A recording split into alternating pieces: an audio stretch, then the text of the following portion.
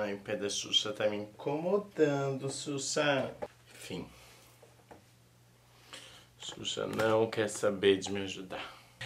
Oi, oi, gente! Hoje nós vamos conhecer mais uma das maravilhas de coisinhas que a Xuxa deixou nos anos 80, nos anos 90 para nós eternos baixinhos. Então vem comigo que esse vídeo é especial, como todo vídeo da Xuxa, né, meu anjo? Baixinho, vem que hoje eu tô xuxônico. As coisas que eu vou mostrar pra vocês são coisas que eu tive na minha infância. Não são as mesmas, né?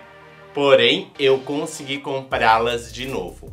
Uma delas é até daquele cara, daquele homem. Lembra que eu falei pra vocês que comprou um galpão, tinha um estoque de uma loja dos anos 90 de brinquedos? Então, veio neste lotão que eu comprei há um tempo atrás, uns anos atrás e a outra coisinha eu acabei achando no Mercado Livre. Então vamos embora para essas duas coisas.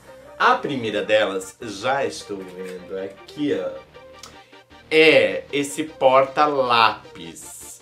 O que que acontece com esse porta-lápis? Esse porta-lápis, ele é, não é daqui do Brasil, ele é da Argentina. O meu pai, lembra do vídeo anterior que eu falei para vocês que ele ia muito pro Paraná, pra Argentina, pro Paraguai? Ele trouxe de lá isso daqui pra mim. O mais legal foi ter achado ele todo na embalagem, né? Pura loucura, meu Deus, que loucura. Atrás, olhem só que máximo, tem essa imagem pra gente pintar. A gente vai pintar? Nunca. Olha só aqui, ó, o giz batia e rabiscava o negócio todinho. A embalagem não tá mais tão divinamente bonita, porém é o que temos. Como ele é um porta-lápis, ele é um copinho. Eu fazia isso muito de copinho para tomar refrigerante, tá? Então vem a imagem da Xuxa, aqui atrás vem o beijinho dela, aqui temos o... Ah, calma, vou desse lado aqui primeiro. O Chu, e aqui nós temos o Chá. Tá vendo? Ele faz um barulhinho é porque aqui dentro tinha uns glitter, assim, umas purpurina, e tá cheio de letrinhas pro nome da Xuxa, né? Ele tinha água aqui dentro. Como a água saiu daqui, eu não faço a menor ideia. Se desce, né, pra botar. Oh! Saiu toda a purpurina na minha mão. Então, provavelmente tem uma coisa quebrada. Nossa! Nossa! É muito glitteris! Ai, vou ficar mais gliterinário, vou botar no meu corpo. Eu coloquei os giz, vou até tirar, não sei se eu vou colocar de volta assim, mas talvez. Eu acho que vou. E vou dizer pra vocês que eu amava giz de cera quando eu era criança. Lembra que eu, eu acho que eu contei já aqui que eu comia cola, né?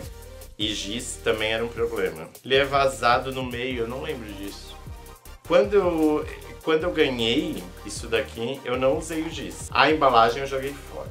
daí minha mãe me chamava de lá, pra que guardar as embalagens dessas coisas?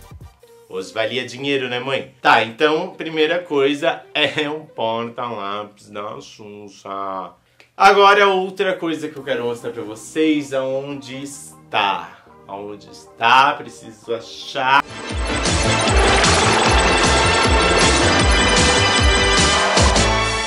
Achei! É este canudinho.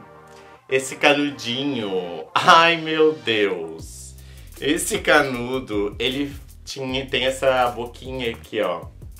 Eu lembro que quando eu ganhei, eu achava o máximo. E eu pegava essa boquinha e ficava colando assim na minha bochecha para dizer que a Xuxa estava me dando beijinhos. Sim, eu fazia isso.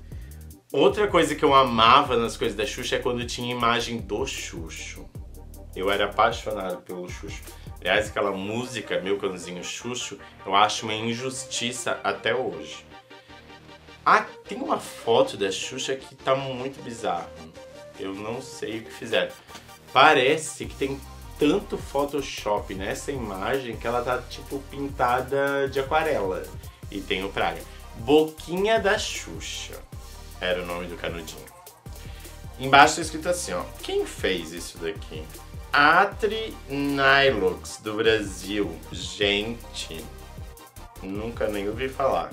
O canudo que faz sua bebida ficar muito mais divertida, recomendado para crianças acima de 3 anos.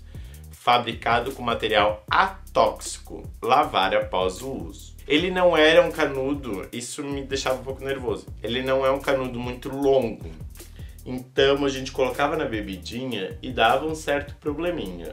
Porque tá vendo? Ele é bem curtinho. Aqui ele é maior. Deixa eu ver se consigo mostrar pra vocês. Ali, ó. Ele vem até aqui pra gente conseguir encaixar a boquinha. Não era uma coisa assim. A gente dava um beijinho na boca dela, né? Ou não, né? Ou podia virar.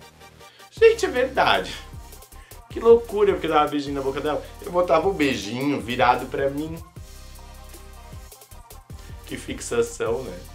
A gente bota o beijinho assim, ó, que nem o Praga tá usando. Ai, meu Deus! Gente, como eu era! Eu queria beijar a Xuxa a qualquer custo! Que engraçado que as pessoas não faziam a sobrancelha, né? Tá, assim, uma coisa louca essa sobrancelha. E a raiz? A raiz do cabelo dela tá muito estranha, olha ali. Parece que ela não pinta meses, assim, sabe? Apesar de que hoje é moda, né? Embora eu não goste muito. Mas, ó, tá bem estranho. E parece que tá seco o cabelo dela. E vocês, ainda tem coisas da Xuxa da infância de vocês? Deixa aqui nos comentários, me siga nas redes sociais, se inscreva nesse canal se você é um louco que ainda não é inscrito e me conte tudo das suas experiências xuxônicas. Ah, também tô esperando a sua cartinha, hein? Para de ser louco, sou louco. Um beijo, tudo de bom e até amanhã! Mua!